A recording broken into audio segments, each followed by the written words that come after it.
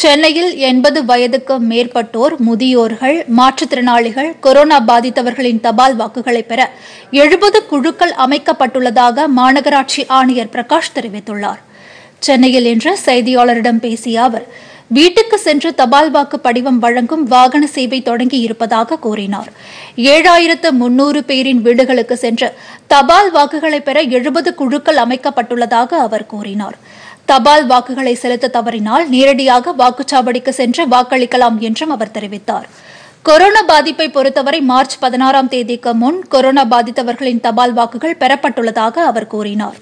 இனிவரும் நாட்களில் கொரோனாவால் பாதிக்கப்படுபவர்கள் வாக்களிக்க விரும்பினால் வாக்குச்சாவடி அலுவலர்களின் அனுமதி பெற்று உரிய பாதுகாப்பு நடவடிக்கைகளுடன் அவர்கள் வாக்களிக்க நடவடிக்கை எடுக்கப்பட்டுள்ளதாகவும் அவர் தெரிவித்தார். சென்னையில் கொரோனா பாதிப்பை கட்டுப்படுத்த தீவிர நடவடிக்கை எடுக்கப்பட்டு வருவதாக அவர் கூறினார்.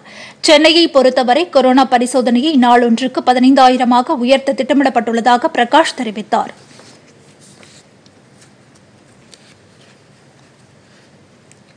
வாக்காளர்களுடைய வீடுகளுக்கே சென்று வாக்கு சேகரிக்கிறது.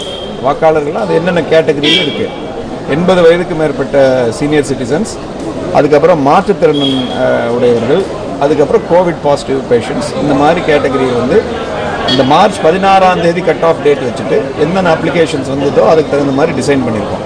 நடைமுறையில் எந்த சிக்கலும் வரக்கூடாது.